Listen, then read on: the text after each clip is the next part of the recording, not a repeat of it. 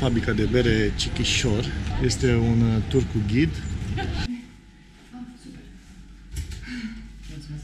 Ne aflăm în, uh, la fabrica de bere Chichișor. Din Sunt Simion. Sunt Simion, județul Harghita. Uh, facem un uh, tur complet al acestei, uh, al acestei fabrici și suntem niște norocoși pentru că doar, suntem doar câte patru persoane noi, iar uh, cei de afară sunt mai mulți de origine uh, Maghiar. maghiară, așa că noi avem uh, privilegiul să, să facem acest tur mult mai relaxați. Așa că o rog pe domnișoara Betty, Betty, venea să petreceți vizita. așa, mulțumim, o rog frumos să ne spună de unde vine numele de Chichișor Da. din acestei beri. Deci, uh, Chichișor înseamnă pere ciucană. Chichi înseamnă ciucană și șor înseamnă pere. Uh, Pe lângă berea ciucană se numește și ci- tirtut. Tirtut înseamnă interzis. Și acest cuvânt interzis, deci bere ciucană interzisă, uh, provine dintr-un conflict cu berea Heineken. Deoarece uh, berea Heineken, deci fabrica Heineken a cumpărat uh, berea Ciuc uh, și când am adus această bere pe piață, pe noi ne-au dat judecată de furare Am de citit despre nume. asta, da. da. Exact. Și ne-au obligat să o luăm jos cuvântul Igozi. Igozi înseamnă adevărat. Deci înainte se numea Igozi Cichișer, adică bere ciucană adevărată. Deci ne-au obligat să luăm cu- jos cuvântul adevărat, însă noi l-am pus pe cel interzis.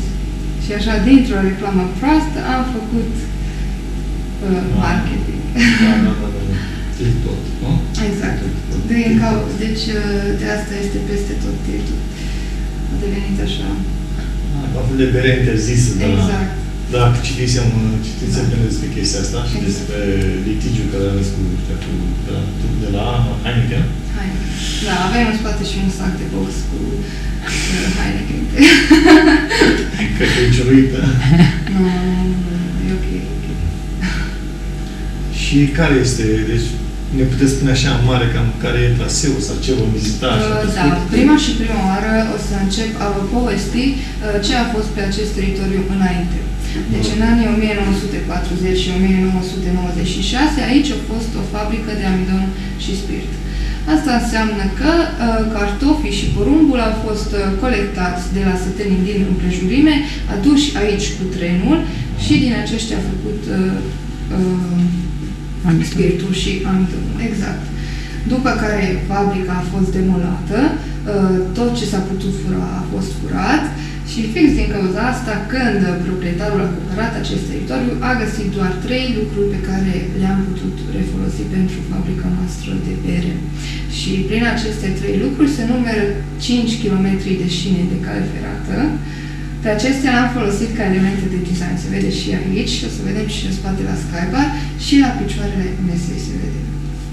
În același timp am uh, refolosit electricitatea și uh, am refolosit cea mai importantă, apa. Pentru că nu e așa, berea de bună calitate necesită apă de bună calitate. Aveți izvor sau? Da, deci avem uh, 5 fântâni arteziene cu apă de izvor și apa aceasta este perfectă pentru berea noastră. Deci uh, fabrica în sine și-a deschis porțile în 2014, adică destul de recent. Uh, În 2014 am pornit cu această secție de fierbere, deci cu această cameră de fierbere care se vede aici. Uh, Cu aceasta am avut capacitatea de a fierbe 19.000 de litri de bere pe zi. După care în 2016 am uh, îmbunătățit-o, am mărit-o și uh, avem două secții de fierbere. Am intrat în fabrică și este foarte cald. Ne răcorim cu pahar de bere. Cine bea? Cine... exact. Vă lasă să beți aici bere? Chiar trebuie. Trebuie, nu? Deci chiar îmi scrie uh, că trebuie să beau câte un pahar de bere cu fiecare uh, Dacă nu bea cel care prezintă cine să bea, nu? Uh, În general beau uh, bere cu zmeură, că e mai slabă, dar acum... Aia care mi-a dat o mie, nu? Exact. Am înțeles. Deci, uh, o să vorbesc un pic uh, despre de ce este manufactură berea noastră. Da. Deci uh, am avut uh, oaspeți care credeau că este manufactură pentru că se face cu mâna. Nu, nu e așa. Este manufactură deoarece folosim produse naturale. Adică nu folosim produse sintetice, uh, enzime, coloranți și nu pasteurizăm berea. Deci niciuna din berile noastre nu este pasteurizată. În schimb, noi așa trebuie să facem ceva ca să-i dăm uh, termen de valabilitate berii noastre uh, și pentru aceasta noi o filtrăm. Deci avem uh, două secții de filtrare. Înainte am avut doar uh, filtrarea cu diatomită. Ăsta este un pământ vulcanic uh, care filtrează bine, uh, reține particulele de drojdie și așa ne ține berea Ah. mai mult. Doar că cu aceasta ne-a ținut berea doar 3 săptămâni, deci foarte puțin.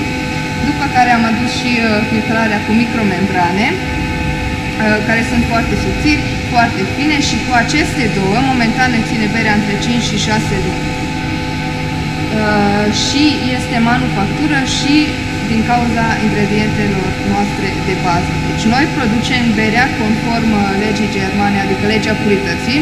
Asta înseamnă că folosim doar trei ingrediente de bază. Una din acestea este, nu așa, apa, mai avem malțul și hameiul.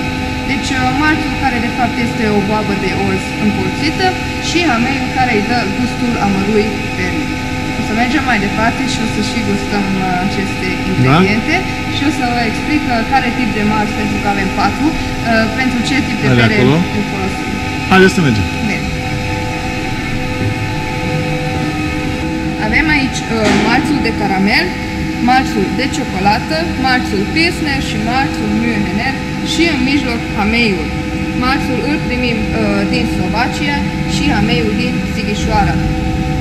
Puteți să le gustați? Asta este dulceag, asta are gust de boabă de cafea și acestea sunt uh, cam la fel. Bună! Da. Deci, uh, din malțul de caramel și cel de ciocolată facem berea brună. Deci, uh, malțul de caramel îi dă gustul și malțul de ciocolată îi dă culoarea. Uh, Hameiul nu e așa, uh, îi dă gustul amărui berii și este și foarte amărui, dacă ați gustat. Și malțul Wow. Mühlener și cel Pilsner le folosim pentru berea noastră de bază. Deci în berea de ba- uh, bază înțeleg și berea cu zmeură, afine, nefiltrată, bol și așa mai departe. De exemplu, avem berea sete, secuiană. Aceasta se diferențiază prin faptul că adăugăm uh, de două ori atât amei decât în cea cicli, deci e un pic mai bărbătească. Avem uh, berea crem, care iarăși se diferențiază prin faptul că pe lângă malțul Mühlener și cel Pilsner adăugăm și un pic de malț de caramel și din cauza asta sau datorită acestea are o spumă mai cremoasă. Și o să mergem mai departe și o să ne uităm la producerea pierderii berii. Malțul pe care uh, l-ați văzut le ținem în aceste patru siloze. Ajung în vară unde sunt uh, măcinate. După care uh, primim marți măcinat, ajunge în a doua secție de pierdere despre care vorbeam. Aici avem un cazan cu apă caldă, un cazan de pierdere și un cazan de pierdere al hameiului. Deci ajunge marțul măcinat în cazanul cu apă caldă și aici se descompune zaharul și dioxid de carbon. Deci acestea mă vor ajuta pe mine când voi adăuga drojdia să primesc alcool. Deci în această secție nu are uh, berea alcool. După care ajunge în cazanul de fierdere și aici îl fierbe timp de 3 ore. Deci această procedură se numește plămădire uh, și datorită acestea ne va rămâne de desubt borhotul, deasupra, scuze, borhotul, de asta îl uh, vindem, uh, vindem fermelor din împrejurime și de desubt ne rămâne mustul de bere, deci așa îl numim noi. Ăsta este un ceai dulceac. Uh, Deci cu acest ceai ne jucăm mai departe, ajunge în cazanul de fierbere al hameiului și aici iarăși îl fierbem uh, timp de 90 de minute la 98 de grade. Și după ce s-a terminat uh, toată procedura, adăugăm drojdia și ajunge în cazane de fermentare unde ne vom opri acum. Deci totul este automatizat, totul este controlat și temperatura uh, și intervalul de timp. Deci dacă din, din oră în oră primiți vizitatori sau cum? Da, din oră nu. Deci un pahar de bere la fiecare oră, nu? Nici chiar așa. Încercăm să le punem uh, în, din două în două ore, Da. da, la orele pare. E bună berea, chiar e bună. Am, am gustat ieri și chiar e foarte bună. Deci Aici? aici avem cazanele de fermentare. Noi le numim uh, unii tancuri. Avem uh, din acestea 18 la număr și fiecare are 35.000 de litri. Aceste noi așa mereu sunt pline de cu bere. Uh, și aici uh, fermentează berea. Deci, uh, de Putem exemplu, vedea aici, nu? Exact. De exemplu, berea Chiki, uh, adică berea de ba- bază, fermentează timp de 30 de zile, uh, berea brună timp de 40, berea cu miere timp de 50 de zile și berea gold timp de 60 de zile. Efectiv, asta este singura uh, diferență între berea gold și berea Chiki, că fermentează de două ori atât, fix din cauza asta are o culoare mai aurie și nu așa e și mai scumpă. Uh, Am menționat berea cu miere, aceasta este cea mai tare berea noastră, adică are 9% alcool. Da? Uh, Noi o numim o bere de sărbătoare și adăugăm la fiecare sticlă la sfârșit câte 7 lingurițe de miere. Deci este și tare și dulce. Exact. Și după ce s-a terminat acest proces, uh, procedură, scuze, ajunge în secția de filtrare, în afară de cea nefiltrată. Noi așa avem berea nefiltrată, ca aceasta, care nu trece prin secția de filtrare, deci are în ea uh, particulele de drojdie. Fix din cauza asta, nu avem bere nefiltrată la sticlă vara, toamna, primăvara, doar iarna, timp de două luni, pentru că noi așa începem să refermentăm. Și cea pe care ne-a servit-o era nefiltrată? Deci, da. Aia roșie. Da. Aia roșie este berea cu zmeură.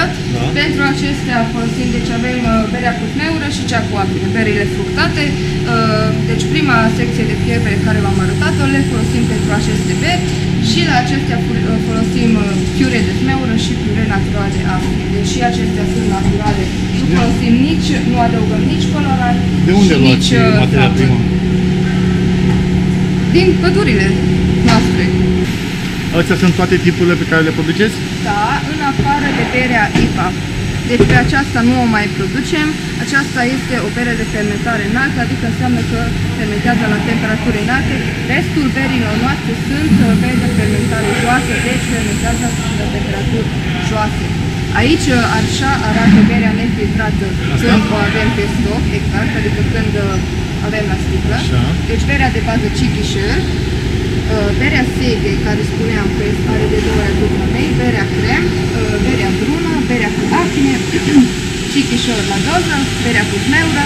Aceasta este o ediție limitată cu, uh, din berea gold. Deci prima și prima oară am lăsat-o 100 de zile la fermentat, doar că aceasta nu așa s-a vândut foarte repede. Aceasta este ultima sticlă pe care o avem. Aceasta este berea cu mere, miere care am spus uh, că este Asta e cea mai 9%, tare. da. Exact. Și aceasta este berea gold. Și atât. Și care e cea mai scumpă de aici? Cea mai scumpă, cred că aceasta. Aia de 9%, nu? Exact. Deci uh, am auzit că în Ungaria o vând uh, cu vreo 11 lei. Deci, deci În România? în Nu, nu România mai... nu știu sigur, dar uh, și în România e mai scumpă decât restul țării Și aceasta e destul de scumpă. Așa. Deci cele mai produse uh, aici în România și în magazine sunt aceste trei Da. și eventual până aici. Deci astea două mai rare. Mulțumim pentru chipsurile care ne-ați adus. Deci fa- fabricați și ei chipsuri, nu? Exact. Și Deci acum avem ce o ne-ați adus? fabrică Ce de aici. chipsuri sunt? Aceasta este cu cașcaval și aceasta este cu smântână și ceapă. Da. Însă vă recomand uh, să încercați cea cu trufe. Avem uh, chipsuri cu trufe și sunt foarte, foarte bune. Și avem și uh, chipsuri cu un sos uh, tradițional unguresc, uh, areușpiștă, care sunt foarte, foarte picante, însă și acestea sunt bune. Aceasta a fost tura de la fabrica de bere de la Chichișor Mulțumesc și eu. pentru o prezentare.